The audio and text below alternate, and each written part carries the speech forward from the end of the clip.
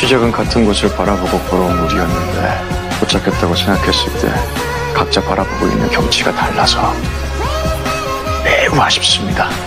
유나야, 난 네 니만의 친구라서 참 좋았어. 다행이네. 친구하자. 태호야.